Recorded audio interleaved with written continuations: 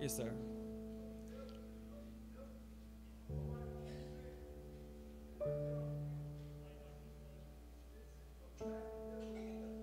Yes, sir. Absolutely. Yes, sir. Does anyone else have any needs? Yes, sir. Okay. Yes. Keep her in your, our prayers. All right. Anybody else? Yes, uh, little Tyler's sick again, so keep him in your prayers as well. Christina's home with him tonight, Brother East.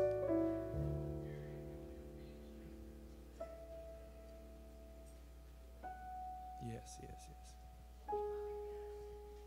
Oh, yes, a lot of sickness going around. So it's, uh, let's pray against the sickness as a whole. It seems like it's going in circles.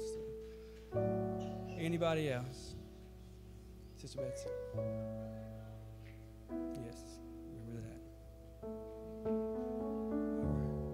Before the Lord in prayer. Say, God, we thank you for the opportunity to gather in your presence again tonight, Lord. We claim your anointing and blessings on this service, Lord, and help us remember uh, after these holidays the true reason for the season, God. For you come to this earth, the sole purpose to spread your love and pay the ultimate sacrifice, God. We ask you to touch each and every need, Lord. Touch the youth as they go to Nashville, Jesus. Let them get a renewing and anointing like they've never had before, Jesus. Ignite them and ignite this generation, Lord, to represent you, God. Touch every need in here, Lord. All the sickness going around, God, we rebuke it in the name of Jesus, Lord. We claim your anointing and your healing, Lord, on every person here, Jesus. God, and as you anoint the singers and the preacher tonight, Lord, let us receive the word you have for us, God, in Jesus' name.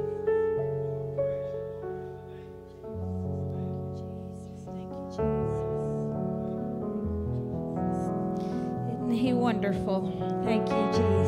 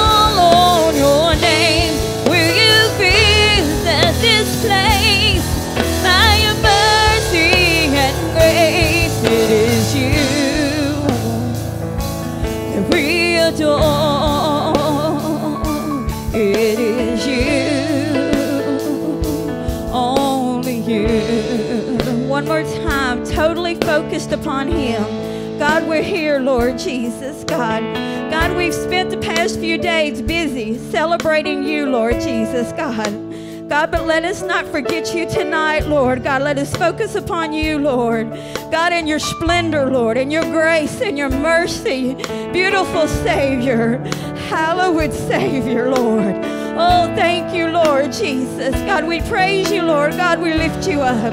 God, we magnify you. We glorify you, Jesus, God. God, we exalt you. Oh, Hosanna. Thank you, God. We praise you, Lord. Oh,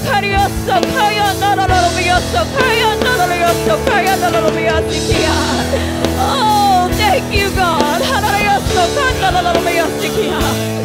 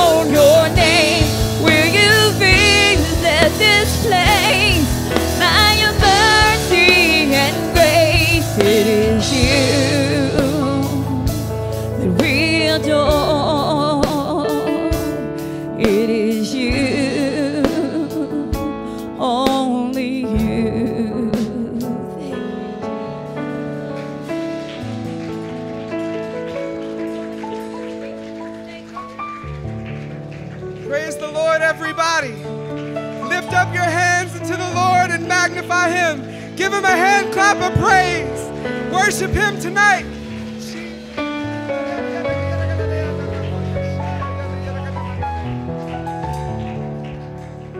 Ushers, if you would make your way forward.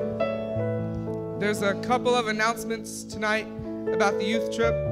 Tomorrow, um, after service, there's going to be a short meeting for the chaperones. If you're chaperoning on the trip, make sure you meet with Skylar Hunt after service. And also, if you don't know, the buses are departing tomorrow at 12 o'clock. Brother Terry, would you pray over the offering?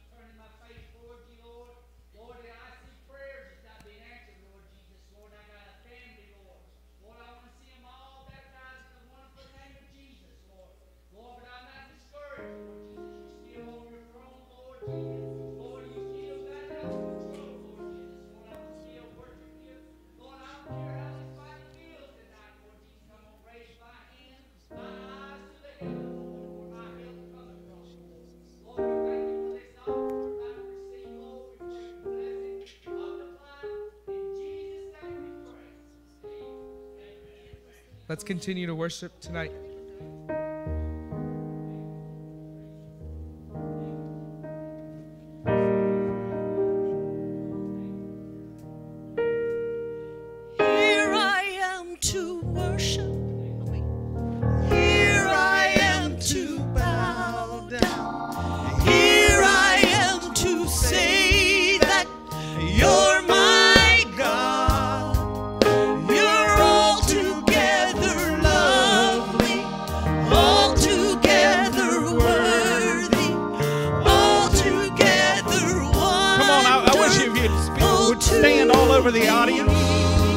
As soon as they get through taking up the offering, we had another song to sing, but I just feel this in the Holy Ghost.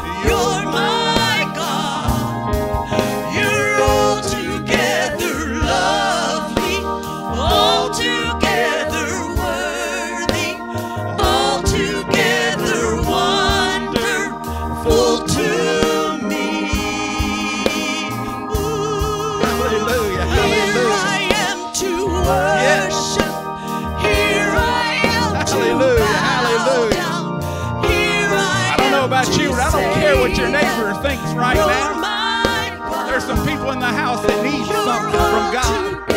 Just raise your hands and sing it with us. Hallelujah, hallelujah.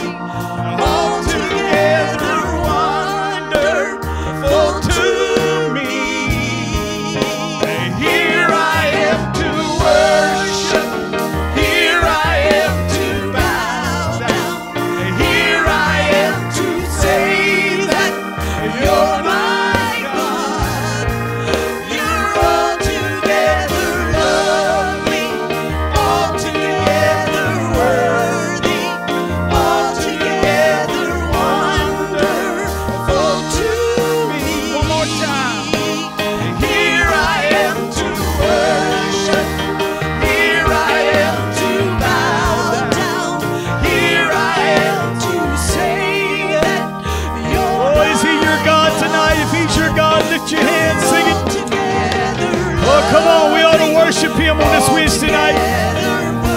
Oh, he's worthy. Yes, he is. Come on, sing it to him. Oh, hallelujah. That's what I'm here for. What about you?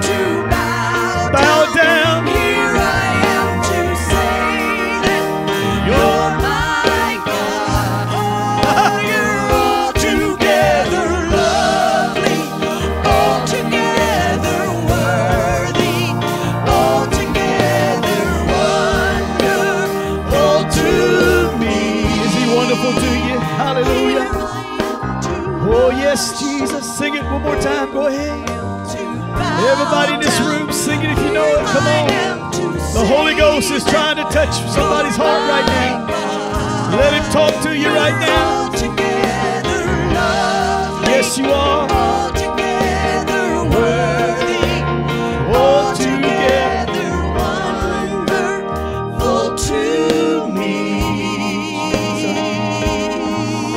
Hallelujah. He's wonderful to you. Clap your hands to the Lord. He's such a wonderful God. I love you, Jesus. I love you, Jesus. I love you, Jesus. Oh, I'm glad to be a Christian. How about you? Glad to know who He is tonight.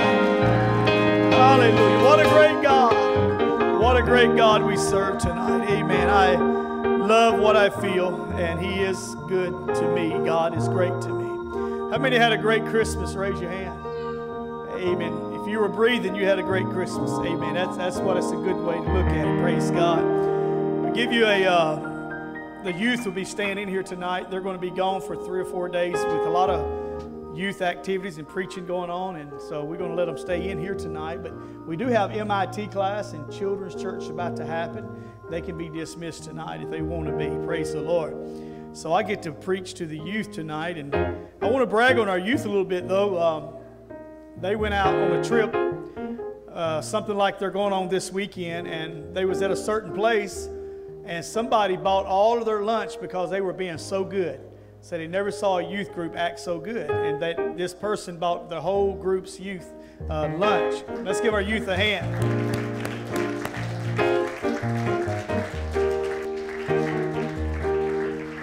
So, with that being said, I hope they come back with another lunch ball this weekend. Praise God.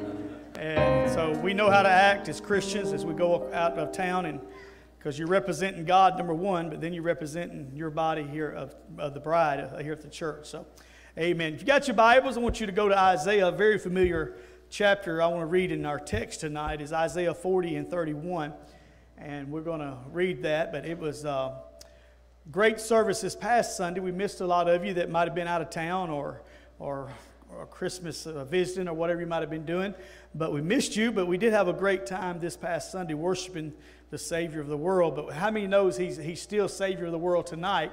Even though it's not Christmas, praise the Lord, He's still our Savior. But it's good to see everybody back in the house of the Lord tonight. We did miss you Sunday if you wasn't here, though. Isaiah 40, 31, one verse, but they that wait upon the Lord shall renew their strength. They shall mount up with wings as eagles. They shall run and not weary, and they shall walk and not faint. Then I'm going to go to Luke chapter 24, verse number 49. Luke 24, 49.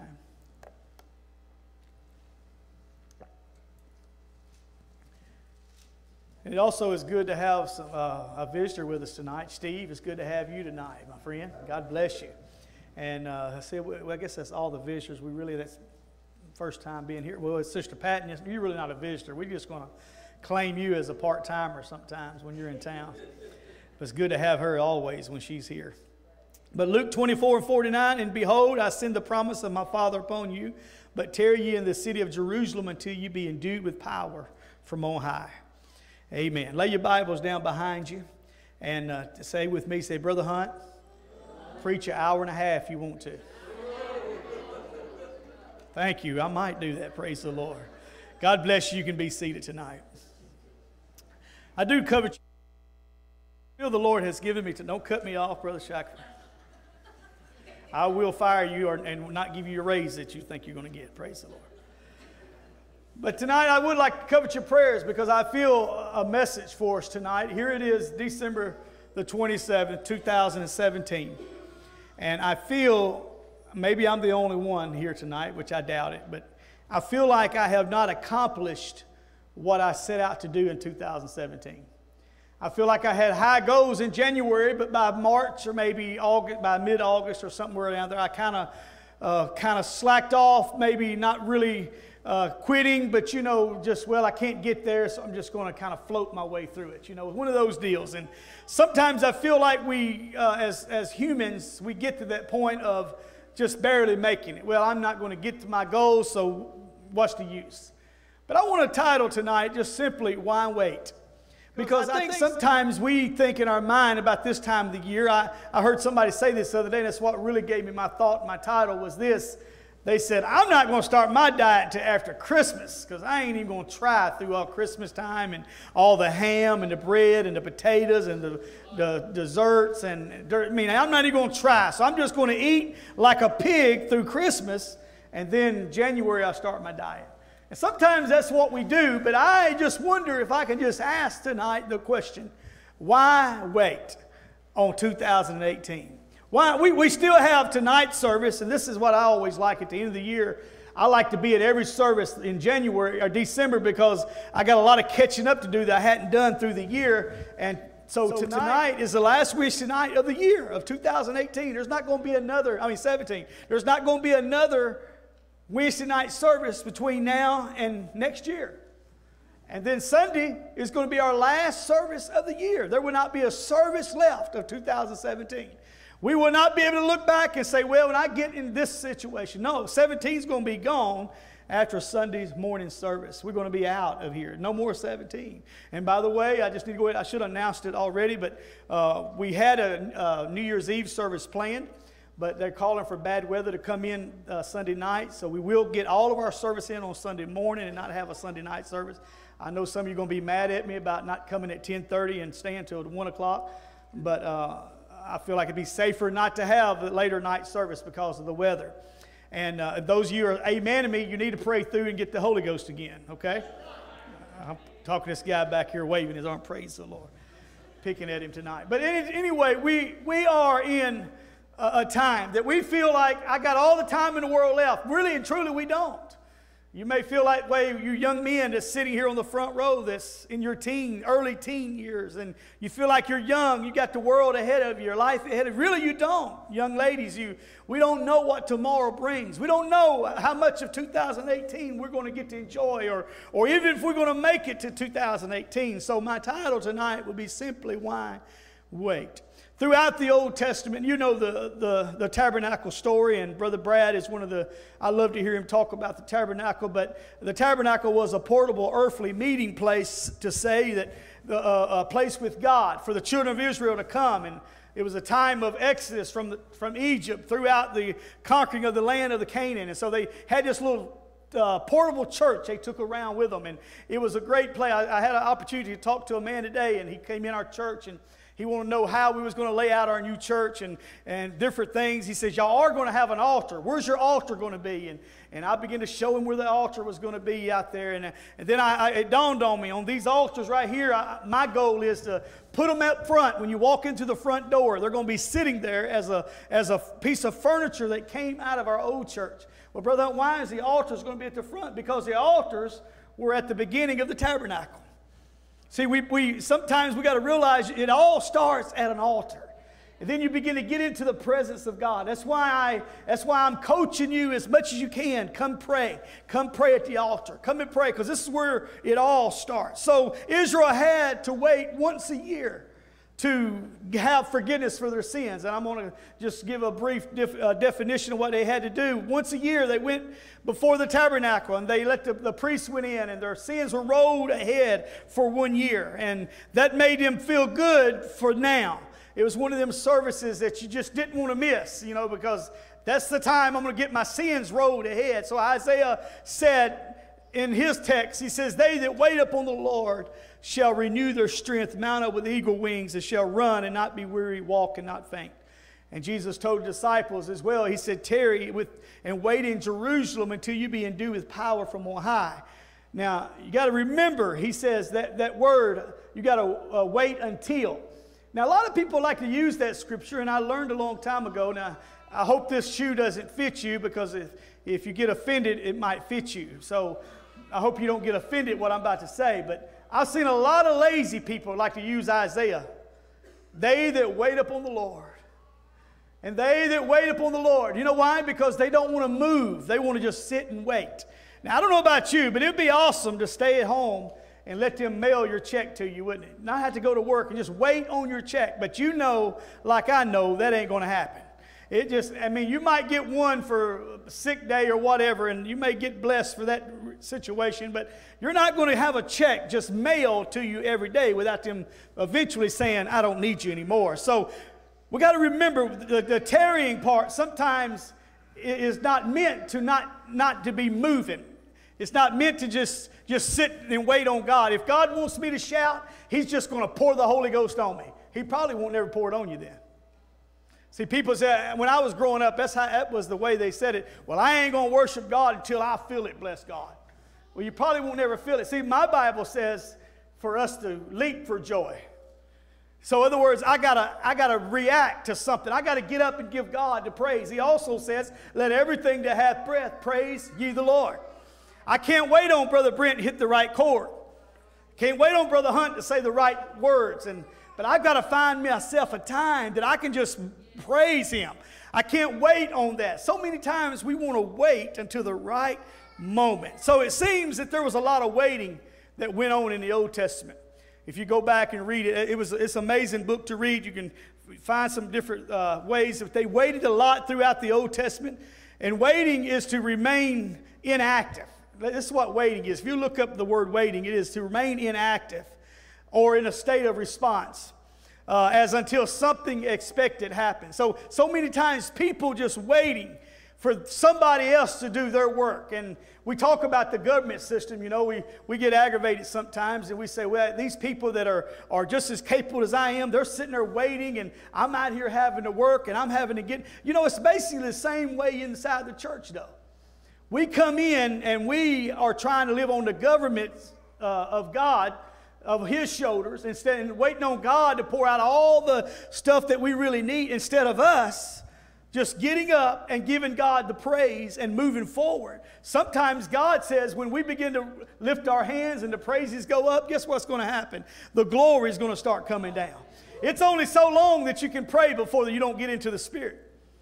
Come on, if you'll keep praying, eventually that Spirit's going to come and it's going to fall on you. It might take you 5, 10, 15, 20 minutes, 30 minutes of praying. But I'm going to tell you, these five minute prayer meetings need to be over with. We need to get back into travailing prayer meetings. And by the way, the, uh, just go ahead and plug it in. You're going to hear it all Sunday, but and, uh, we're going to have 31 days of prayer and fasting in January. Are y'all ready? These things come by praying and fasting. What things, Brother Hunt? When we cast out devils. I don't know about you guys, but I'm tired of having church with the devil. Everybody tired of having church with the devil? Come on, we, we, we let him get comfortable. We, you know, when, I was growing up, there's a lot of things that's going on in churches today that they would call them to the front and lay Bibles on them, cast oil all over them because of the evilness that was over them. But nowadays, we, we give a membership roll and say, hey, as long as you pay your tithes, you're good.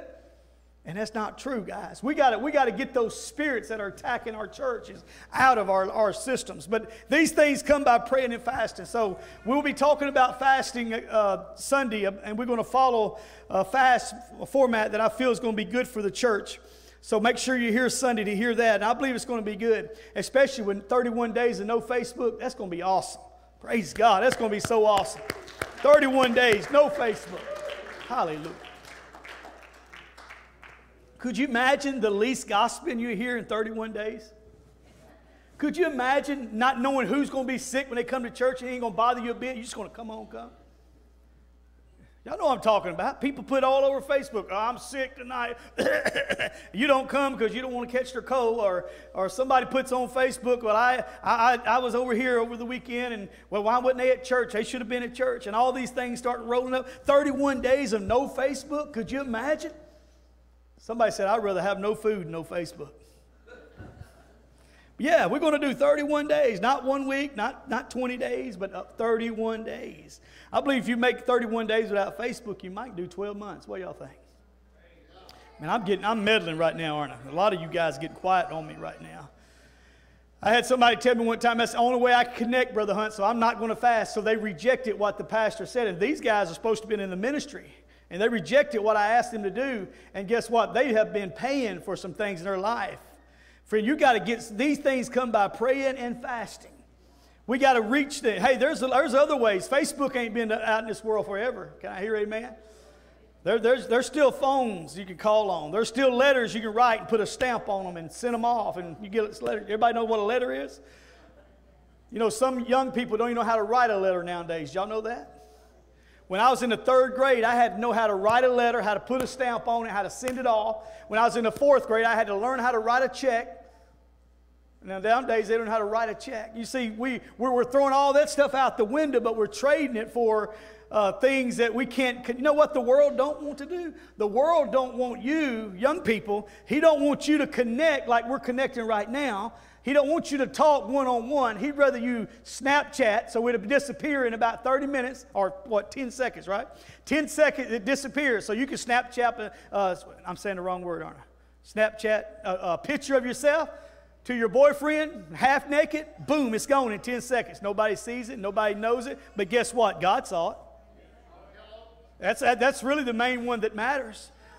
In case you don't also, somebody else that might be on your Snapchat, they can snap it real fast and they got a permanent picture of you on their, on their Snapchat. See, a lot of you don't know what Snapchat is. I don't even know how to operate either. I just know a little bit about it. But I want to tell you this uh, the world is trying to break away the connection of the church. If I can, I'm going to tell you, we don't fellowship like we used to. We, we don't connect like we used to. We connect with people outside of the world more than we do inside the church.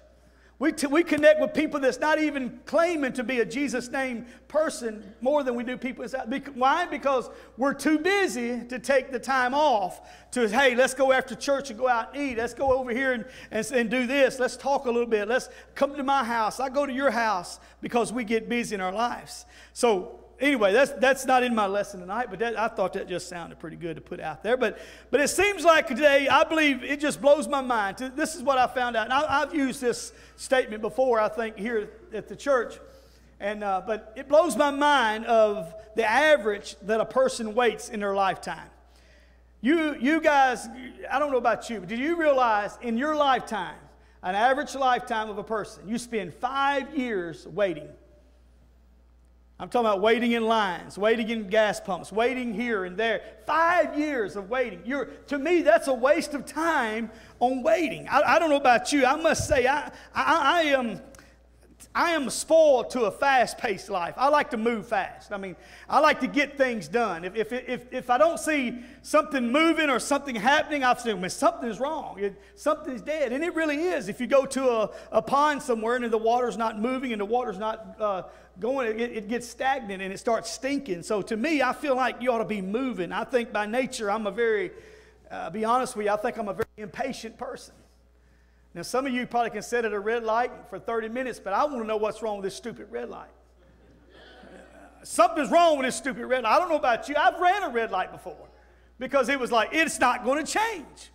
And about the time I get under it, it changes. I thought, whoa, man, I was almost there. But I have. I, have went around red lights before. I went turn a right and then make a U-turn and go back out, and it was still red. And I could tell you a few here in town that they need to work on. It seems like they take forever, but I'm just a very impatient person. I don't like to wait around with nothing to do.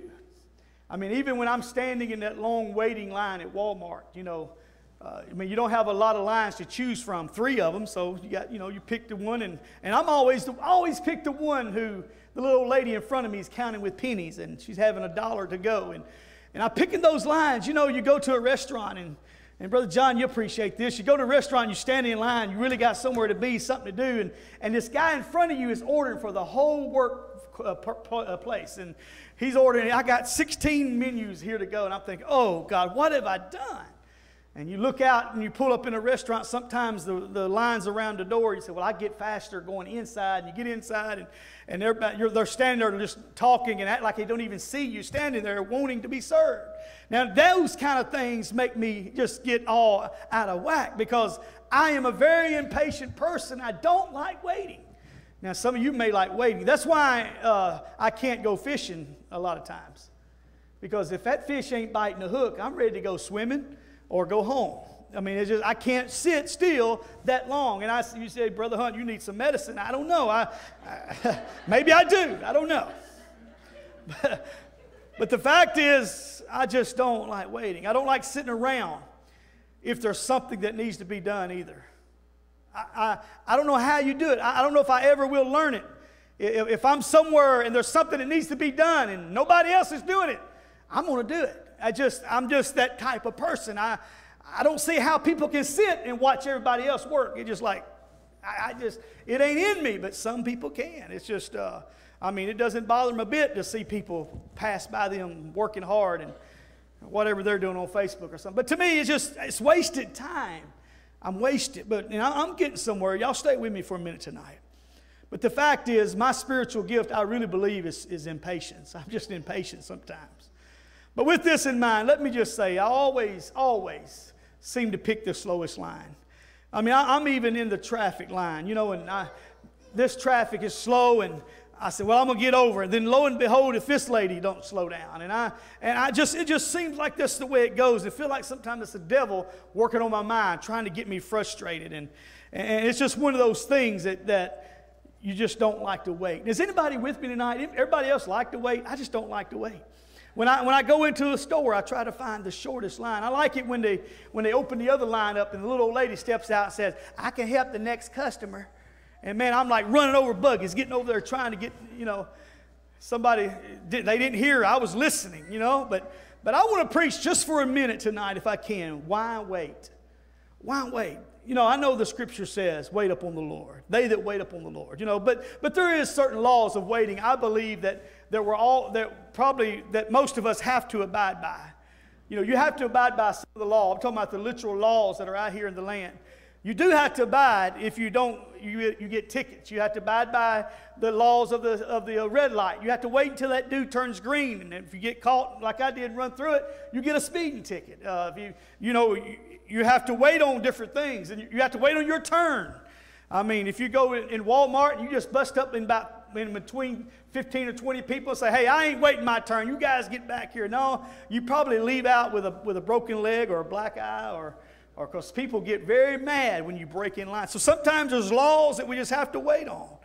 But I mean to be honest, my friend, tonight, you don't, you don't get tired uh, of just um, running and getting stuff done, but you get tired of waiting. To me, that's one of the most tiresome things you can do. I mean, think about it. How many goes to a doctor's office and when you leave after waiting four hours, you just feel so refreshed. No, you feel tired. It's like, man, my body's wore out. I done sat there all, I'm more tired sitting in a doctor's office than I was if I was out cutting grass or something. So we don't like waiting. And I believe that there is a time that we have to wait. But when you're coming to God, listen to this now. When you're coming to God, there's no more waiting. You don't have to wait no more. Back in the Old Testament, they had to wait until it came their time around.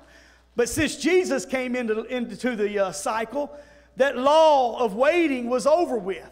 You see, when Jesus got into it, that, that law was broken. And all, all through the pages, like I said, of the Old Testament, for years and years, the people were waiting on something better to come, something better. They were waiting for a better promise, they were waiting for some better system of things to happen. They were, they were waiting for a Savior, what they was really waiting for. I like what Hebrews 7 and 19 says. It says, For the law made nothing perfect, but the, but the bringing in of the better hope did, by the which we draw nigh unto God. It came that. Heidi's glad for the hope that we have nowadays, that we can lean on Christ. All through the Old Testament, they were hoping for a better way, longing for a better way. But I want to tell you tonight, you uh, don't have to wait no more. That waiting is over. The, the person who really wants Jesus in their life, you don't have to wait for it no more. So many times we'll say, I'm just going to wait on the Lord. You really don't have to wait on Him.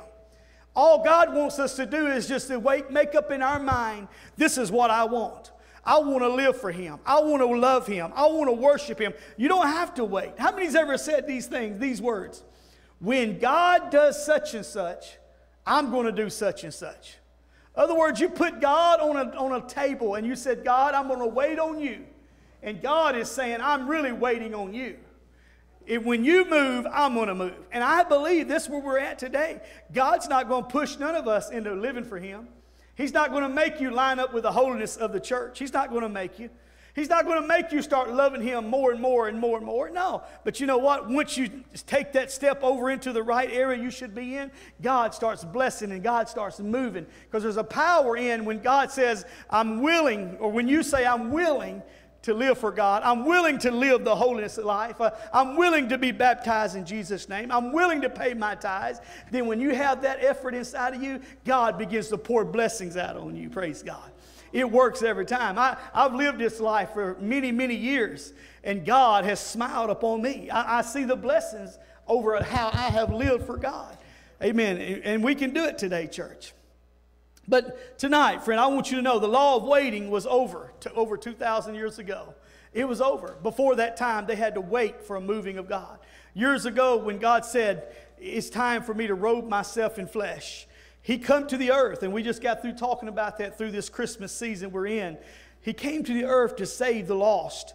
The, friend, I'm here to tell you the waiting is over. Jesus is waiting on you tonight. He's waiting on you to move. Jesus is ready to meet your need. How many knows he can meet your need tonight? Whatever you have, he can meet it tonight. He's not waiting on, on, on uh, uh, or we're not waiting on him. He's waiting on us. It's over tonight. For years, he was God and he's still God. My friend, he's God all by himself. But for years, he was a God who they could not see, they could not feel, they could not touch. They had to depend upon one man, a priest, to go before him, to touch him, to, to make sure there was a presence there for years. But Jesus Christ came on the scene. How many's glad he came on the scene? Hallelujah. That's what we celebrated this season because Jesus Christ came on the scene. Friend, I'm going to tell you, when he came on the scene, it changed the law of waiting. In other words, I don't have to wait until next year to get my blessing. I don't have to wait until the first of the year to start my life right out with God. Come on, some of you have been already stated in your mind now, when January gets here, I'm going to be a better Christian. What's wrong with tonight? What's wrong with starting tonight? When January gets here, I'm not going to miss a service the whole year of 2018. What's wrong with starting tonight? I challenge you. Some of you make an uh, effort at your workplace not to be late, not to never miss an appointment, not to miss a day of work, so you can get that little badge at the end of the year and get that, that support of uh, whatever they give, uh, uh, uh, some whatever promotions or whatever. What about if we do that for God? But don't wait in 2018. How about 2017, December the 27th? Why wait? Let's make up in our mind tonight. Hey, you say, Brother Hunt, I want to wait until January. No, no, no. Today is the day of salvation. Now is the time to, to wake up out of our sleep and realize I got to make my mind up tonight. I can't wait till Sunday. Brother Hunt, why are you so dogmatic about it? Because I know I know between now and Monday there's going to be all kinds of chaos in this life that we live in. And I know I may have to preach a funeral before January is over. I know it's going to happen somewhere, maybe not nobody at this church, but maybe somebody at the church. I'm not trying to scare you tonight, but I'm trying to, I'm just trying to be real with you tonight.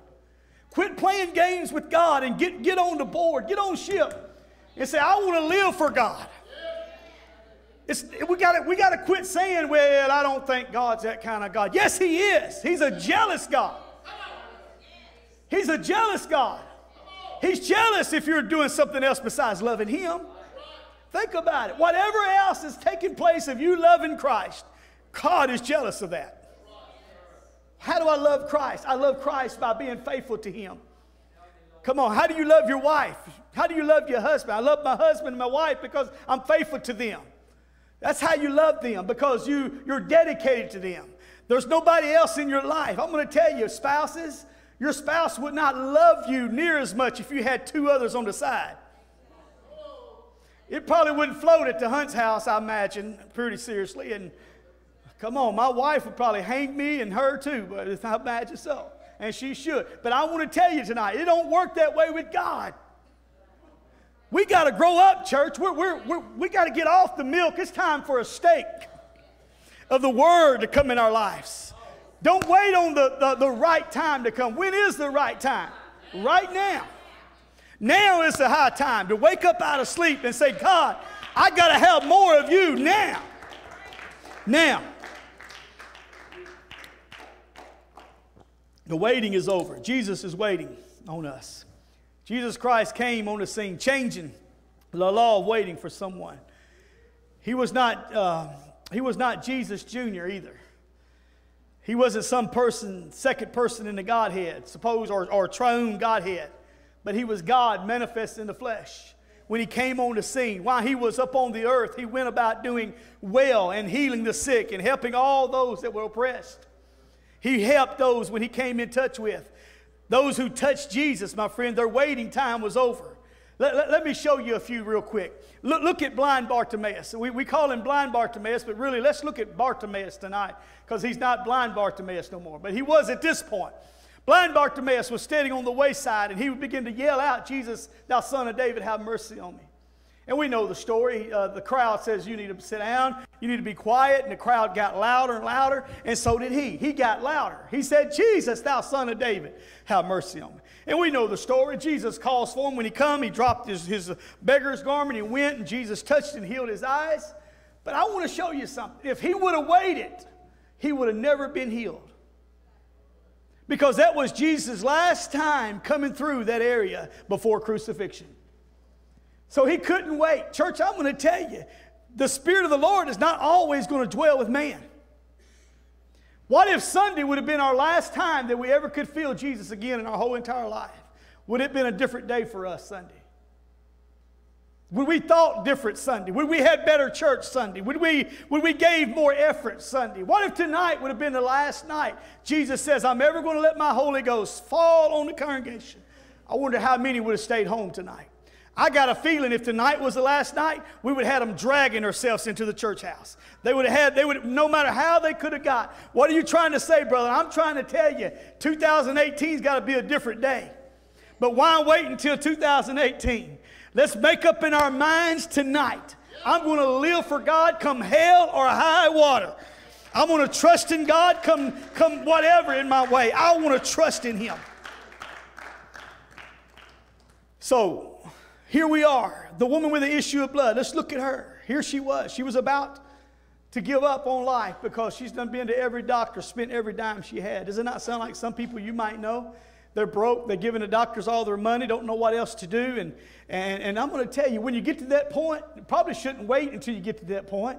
But when you get to that point point, don't know where else to turn to, let me encourage you try Jesus.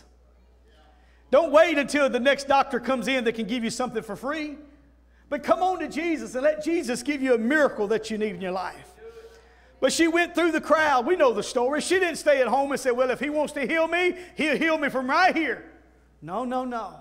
Friend, I'm going to tell you, she was in pain and she had an issue of blood, but she pushed her way through the crowd. And when she got through that crowd, she says, If I can just touch the hem of his garment, I know I can be made whole. And, church, I'm telling you, it don't take a big show to be made whole. Everybody else was up hollering and wanting to touch him, but when she touched him, it made Jesus stop in his tracks and said, Wait a minute, somebody touched me. I don't know about you, but I want to spend less time on Facebook talking things I shouldn't talk, spend less time on chatting or Snapchat, whatever it's called, and all that good stuff. I don't want to spend time there. And some of you may get aggravated, but I'm going to tell you technology is ruining your life and it's messing up your life. It's messing us up. I'm not getting a lot of amens. Probably that, that phone that you still got on to make sure nobody's going to text you right now. Guess what? That's ruining your life. It's got control over you. If you would have left that phone at home tonight, you would have turned around and went back home and got it because just in case I need it. See, we can't live without it. But church, if we can spend more time on this of in the book instead of Facebook, spend more time on touching Jesus they're worried about our little outside appearance of how we're going to look when we get to church. Come on, oh, I can really preach right now. Y'all want me just preach? Y'all listening so good. Oh, and I want you to brush your hair and brush your teeth, put deodorant on, and dress nice. Come to church, and I, I think you should wear your best. If what you got on is your best, I praise God. I'm so excited. You say, well, I don't think you have to dress. No, no, no. I'm not saying dress up in a tuxedo. But let me ask you, are you coming for Jesus Christ tonight? I think you ought to put your best on. I think you ought to do. But if you spend more time on getting dressed than you do praying before service, you may have a problem. You may have a flesh problem. Because so many times we let the flesh get in our way Because you know what? Oh man, y'all want me to just go ahead and preach for me? I'm talking about why wait, okay? Come on, talking about why wait. There's, there's people tonight, and I hope none of you are here tonight. These, these are probably the people that's watching by the way of the website. Maybe that's who you are. But you know what? If, it, if it took me, okay, I can be there at 6.30 for prayer, or I can sit down and eat my meal first, and, and if I get done eating in time, I'll be at church. Which one should I do? Y'all, y'all tell me what should I do? Would anybody want what should I do? Should I eat first and if I make it, I'll be there on time? Or should I put the microwave, the, the dinner in the microwave and, and get to my prayer meeting? And then after church, if, if I get home in time, I'll pop the microwave on and I think that's probably where my dinner is tonight. Guess what I'm going to do? I'm going to do it when I get home. But the main thing, this is me. Why are you, brother? I had a man tell me this week, this is a Baptist guy. He, he showed up on our job site here, and he's a welder. And he told me this week, he says, I, I pastor a church, runs about 80 people over in, I think he told me somewhere in Mississippi, Southaven or somewhere. And he says, um, my, my wife got on to me the other day, and my wife says this. My wife says, Why are you so hard on yourself? She says, You're hard on yourself and you don't require it out of anybody in your church. But wow. So why are you so hard on making sure you're there in time for prayer meeting, but you don't require nobody else to be? Or you're, you're there in time to make sure we have this, but nobody else is required to do it. Church, what I want to see in 2018, when people walk in those doors, we're already having a Holy Ghost revival in the altar with people praying. Now, wouldn't that be awesome? Especially if it was your kid or your nephew or your sister or your brother that's backslid, the one who got away from God, what's it going to take? These things comes by praying and fasting. 31 days of praying and fasting. We're going to do the, what the psalmist says, early will I seek thee. The prayer door will be open at 6:30 every morning from 6:30 to 9 for 31 days. Wonder how many I can get here for prayer. If you'll come at 5 o'clock in the morning, you'll see the Muslim center packed out down here with people on the mats worshiping their God. Oh, now I'm really meddling, aren't I? I hope I'm not making you feel bad. Well, yeah, I hope I am making you feel bad. Because where we're at is where we're waiting on the right moment. We're waiting on Pastor Hunt to make sure he calls down fire from heaven and we're going to all get to enjoy the good goosebumps that Pastor Hunt has called down from heaven. But, church, I'm going to tell you there's not a person in this building that's not, not able to call down fire from heaven. But you've got to want to do it. You've got to put your mind to, to it and say, you know what? I want to pray like I never prayed. I want to fast like I never fasted. But, friend, we don't have to wait until January of 2018. We got to push with everything that we got now. Now is the time to go further and further with the Lord. Just like the woman issue of blood, when she touched him, Jesus made her whole. There was a man by the pool of Bethesda. I want you to catch this. For 38 years, he waited. He said, Every year I go to that pool and I try to get there, but somebody beats me.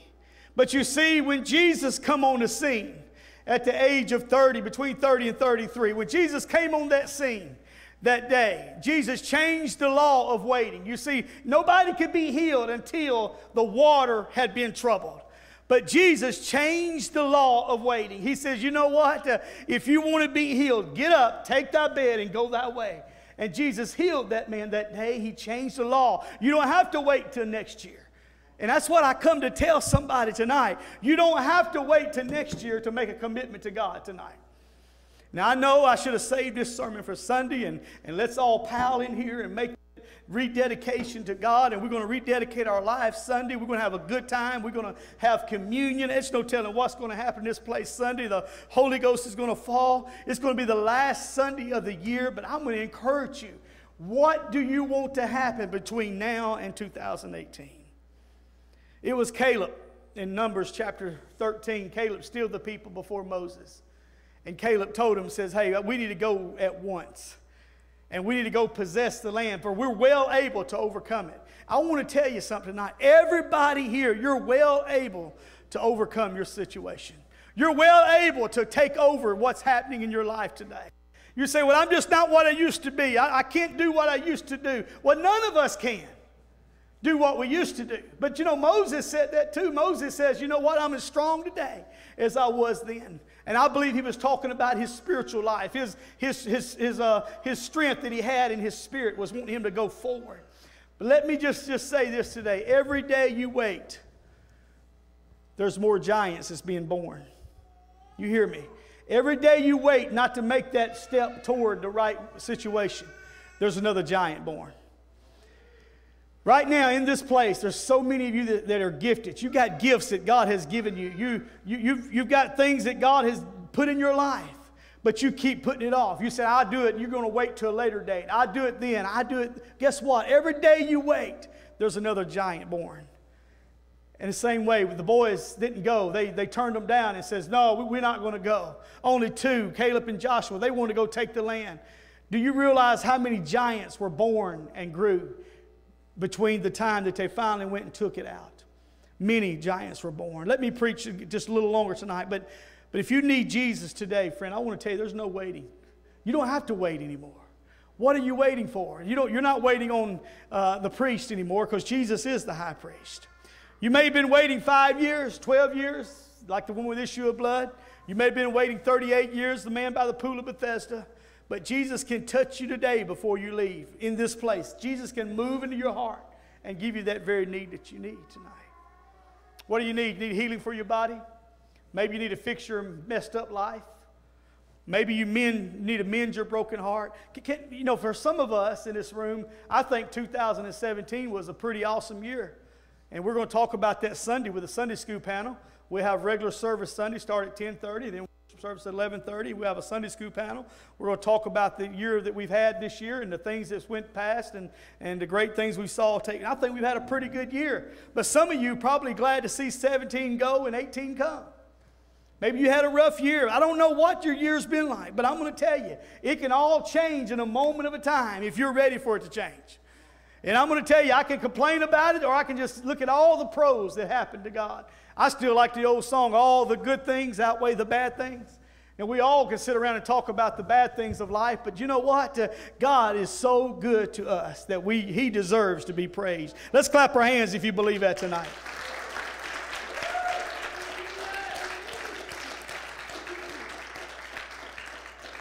You don't have to wait around in line for him to do it either. You don't have to wait until you get a better to be a better person. I, I had a guy tell me that one day. He said, when I get to be a better person, I'm going to work for God like I ain't never worked for God. When God takes this stuff away from me, I'm going to be the man that God. And I had this, this, this elder guy, he's gone on with the Lord now, but he, he would tell me that all the time. He said, Man, I could do so much for God if I was just get a little bit better. For you don't have to wait to get better to do work for God. I'm not saying you can be a, a, a murderer and go work for God. I'm not saying that, but I'm saying that none of us is perfect in this place tonight. If you had to be perfect to work for God, I wouldn't be pastor, and I promise you. But thank God, He, he has grace is sufficient for me. The things that I may slip up and I may, may, may think the wrong thing or say the wrong word, and, but God comes to my rescue. Thank God for His grace. Uh, my friend, if you need it, Jesus can do it for you tonight as well. What the devil took years to mess up in our lives, guess what God can do? He can fix it with just one touch. And guess what? There's no waiting. I don't have to wait. You know, us, us apostolics, we like to put people on a time frame. When, when they come to God, uh, if you're good for a year, I put you in leadership or I put you in a, this position. Friend, I'm going to tell you, that ain't the way God works. The law says it takes many days to break a habit of drinking and smoking or drugs, and it takes many days. But I'm going to tell you, if, if you come to God tonight, He can take away every habit in your life. He could take away, I mean, just like it. He, he, he broke that law where it says it takes days and months and years to get people off. Just like he took, uh, in Mark 5, he took a man by the name of Legion. He took him and cleaned him up. We know the story, how God cleaned him up. And the very next day, he was clothed and in his right mind. Why? Because God had touched him. The, the one who broke the law of waiting, my friend, it, it was there, it was done. And in our scripture text, they, they were told to go and wait until you, the promise of the Father, which is, the Holy Ghost. He said, when it comes on you, you go wait until it falls on you. But friend, I'm going to tell you, that was the last time they had to wait for the Holy Ghost. They don't have to wait for it no more. They had to go wait tarry for 50 days. In the last 10 days, they was in a prayer meeting there. So the Holy Ghost came where they tarried, and it fell upon each of them. Church, I'm going to be honest with you. I'm thankful that I don't have to tarry and wait. Don't get me wrong. I'm now we, we can look at it both ways. Sometimes we, we do push through the service too fast, and we don't tarry long enough for the Holy Ghost. But we don't have to uh, wait years or months or days for the Holy Ghost to come. When we walk into this place, I like what uh, many people tell me. They, we have construction workers have to cut through here sometimes, and, and, and community service workers that come on Saturday mornings. I've had many of them come in here and say, Woo, I feel something in this building tonight.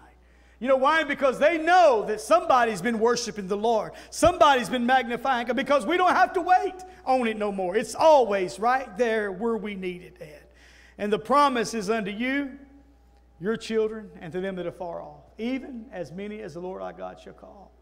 If anything I want my grandchildren to do, I'm waiting on the day that they receive the Holy Ghost, speak with, by, by speaking in tongues as God give you utterance. I, I could care less if my grandkids grow up to be a all-star baseball player. I could care less. I could care less if they grew up to be an all-star soccer player. I could care less. But I'm going to tell you, my wife and I has done set a goal in our mind. They will know about Jesus. The only way they won't know about Jesus is if they don't need a babysitter. They just throw us out. But as long as I'm babysitting, I'm going to be like Moses' mama. Boy, when he, she was babysitting him, she was telling him, Hear, O Israel, the Lord our God is one Lord.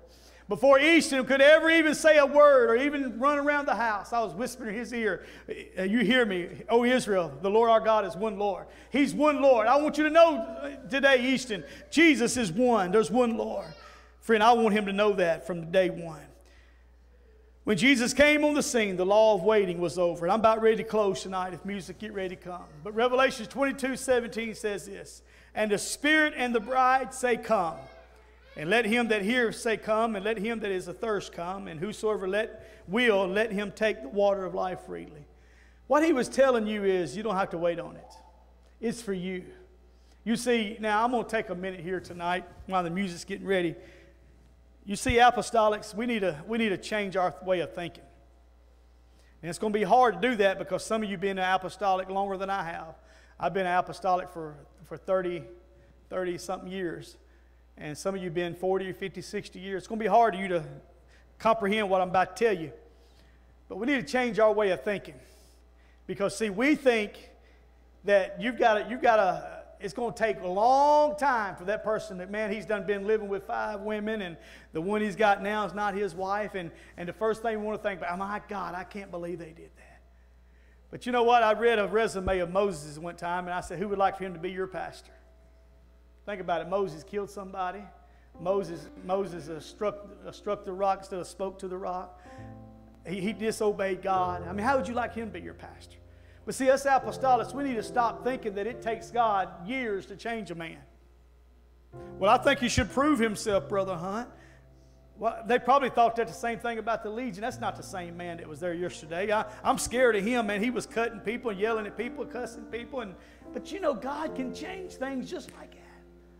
We don't have to wait. We don't have time for a lot of waiting no more. If you're waiting on the greatest revival, you missed that yesterday. We are in the greatest revival.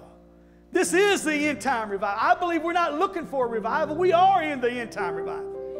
I believe right now is a great. You say, why ain't we having? We are having. Have you not heard?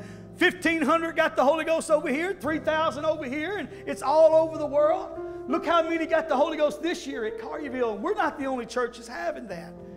There's churches every Sunday that are having 15 get the Holy Ghost, 10 get the Holy Ghost, 20 getting the Holy Ghost. Uh, there's more than 3,000 like they had in the book of Acts. 3,000, 5,000. There's more than that happening today. But you know what? Sometimes it's not getting it the way we think they should get it. I don't believe in that. I don't, that, ain't, that ain't true. But I'm going to tell you, God can give it any way He wants to give it. I'm not going to judge it. I know we have the evidence of tongues come forth. I know all of that stuff. I'm not trying to debate all of that. But you know what? God can give it if a man wants to cry. When I was growing up, I thought you had to be, you know, snot hanging out of your nose and tears flowing out of your face. And, and then I thought that's the way you had to be before you got the Holy Ghost growing up. And I thought if you wasn't like that, you didn't get the Holy Ghost. But that's not true. I thought you used to have to scream in their ear, Come on, you can get it. Come on, turn loose. Hold on. I thought you had to do that. At one time in my life, went through that little stage. I thought you had to take their chin and shake it and make them speak in tongues, you know. y'all ever seen anybody do that? I didn't never do it. I never got into it. I saw it. I thought, man. And it's almost like you just feel and you're, you're so spiritual. I can just shake their chin, they're going to get the Holy Ghost. It might work on somebody, I don't know. But I don't think that's the where it's at anymore. I think sometimes just whisper in her ear and say, You know, God loves you, and He could change your life right now. Hey, you, I, may not, I may not be the man that can 100% believe that you, you know in you, but God does. I, know, I know you messed up, buddy, but I'm gonna tell you, God's able to change you, and you don't have to wait until. Boy, it's really going. It's really going. Y'all gonna throw a book at me right here. But you don't have to wait until your divorce is final before you give your life to God. I don't believe in divorces, by the way, okay? They do happen, and we have to counsel that, and we have to go forward. But we feel like, I mean, I, I sat at lunch with a man yesterday, had tears coming down his face. He said, I got to do something different in my life. And I looked at him, I said, A man who knows to do good and doeth it not, to him is sin. When you know to do what's right, you don't do it your life can, is, cannot get better. It cannot. God does not bless sin. God does not bless things that you're doing wrong. It's not going to happen. I don't care how much tithes you try to pay to make it happen, it ain't going to happen. But when you do what's right, I'm going to tell you the church something. When us apostolics do what's right, God can change you tonight, and you can come in Sunday with a Bible under your arm and say, God has called me to preach. You believe it can happen that fast? I do. Because he looked at his disciples and said, Sell what you got, come. He looked at Paul and said, Paul, who, who, and the Lord said, or Paul looked at him and said, well, What do I got to do with you, Lord? He, uh, he called him by name and said, Why me, God? And God sent him to Ananias' house. I mean, from one day he was persecuting Christians, almost the next day he was trying to change people's lives. Come follow a man who's told me these things, who I was blind. He even told his testimony over and over and over. What I'm trying to tell you tonight is this you don't have to wait. Well, when I get done with my career, why wait? You can't do your career in Jesus too? Because a lot of times people get into their career, they forget about Jesus. Before you realize it, you, are out of the habit of coming to church. You don't have no more church. Well, when I get on this shift, I'll do better. No, don't wait on that shift. Don't wait on that raise or wait on that new car or that, that husband. When God gives me a godly man, you'll probably find that godly man when you're dedicated to God the way you're supposed to be dedicated to God. Probably find that godly woman when you're dedicated to a God. Come on. That's how you do it. You don't wait until something else comes along. Please hear your pastor tonight. Don't put anything before God tonight. I want you, to, what, what you got in your life between you and God tonight, okay? But I feel led to tell you tonight don't wait until 2018 to make a 100% commitment to God. Because I'm going to tell you, if you're waiting, well, when God calls me into this situation, then I do 100%. You won't be 100% in that situation. That situation is not going to last long. It might go good for a little while, but it's not going to last long. And I'm not trying to pin roses on myself tonight when I say this, but I just want to give you an example. Before I became pastor, I was faithful. I was faithful. I mean, I was there at the house of God. I, I helped Brother Creasy. I, I, I done whatever he needed. I was there. And I believe God uses those that are going to be faithful. You might accidentally fall up and trip up into an area of life, but it's not going to last long if you're not used to not being faithful. Don't wait on tomorrow what you can do today. Because there's no better time than right now. Amen. How many believes we need to reach further than we ever have before in our lives? I want my ministry to be better. I want your ministry to be better. Well, I'm not a minister. Yes, you are. You are a minister. Your husband may be a minister. You need to tighten up. That I'm not trying to. My wife's doing a, the minister's wives, but if you are a minister's wife, you need to get behind that man, support him. He's preaching the gospel. Come on, if the word says it and he's following me as a pastor, you need to stop doing it or do it.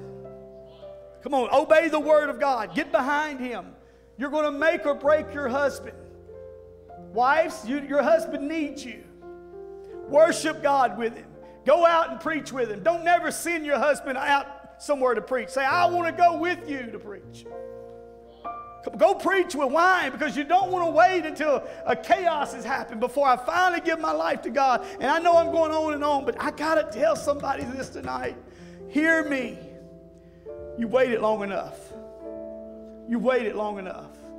It's time tonight to make that 100% decision. I'm ready to give God everything I got.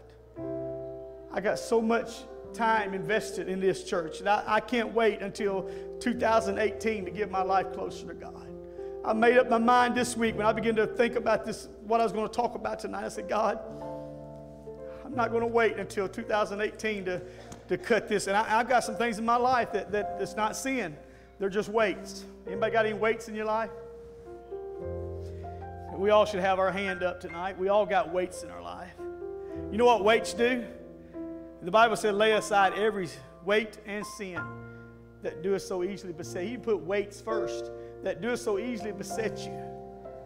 The weights of life, they weigh us down. They keep us from coming to prayer meeting, keeps us from doing what we need to do, or keeps us from being faithful to the house of God. Keeps us, come on, I can go on and on and on. Keeps us from giving the way we should give. And we get weighted down with cares of this life.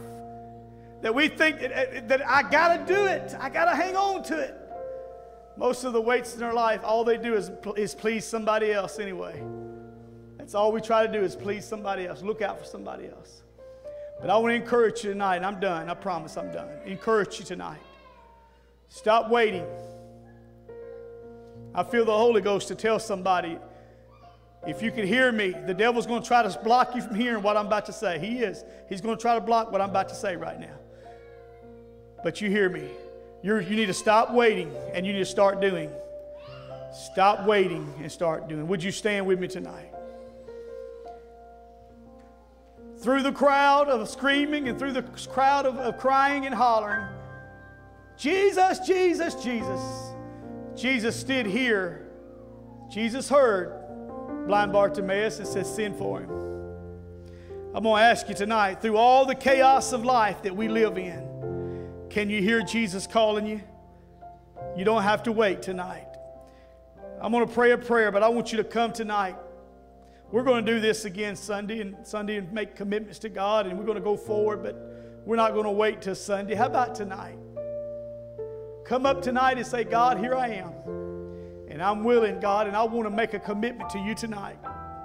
I'm not waiting until I graduate. I'm not going to wait until I get the promotion or, or get my new house. I'm not going to wait, God, until this happens. But tonight, I'm going to give my life to you 100%. On this Wednesday night, Brother Hunt, yeah on this Wednesday night. Lord, I love you. I thank you for these that are walking to this altar tonight.